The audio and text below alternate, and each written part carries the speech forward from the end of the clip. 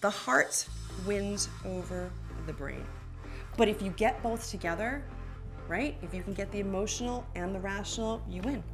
So what's the key point you're trying to convey? What's your core message, right? Why why are you giving this presentation? You start with that as your context. And then as you actually look at your chart or your graph or your table or maybe it's just a statistic that you want to share that you research somewhere, whatever it is, whatever that data is, what is the key thing you want your audience to know, to remember, to believe? All right, I'm gonna start with a confession.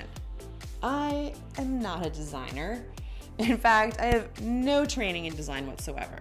Zero, zilch, zip. but what I am is a really great student of design. And over the years, I have studied and learned from some of the best.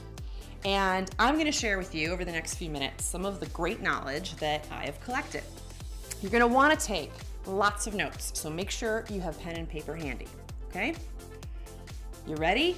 All right, so my point is that despite my lack of training and my propensity to curse like a sailor, although I've kept it pretty clean, yeah, I generally manage to charm the audience because I'm applying all of the things that I've spoken about during this course.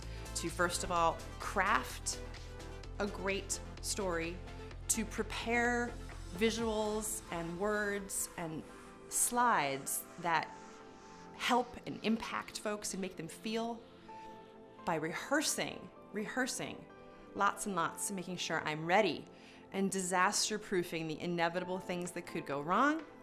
And then finally, delivering a presentation that has value not just to me, not just to my agenda, but to my audience.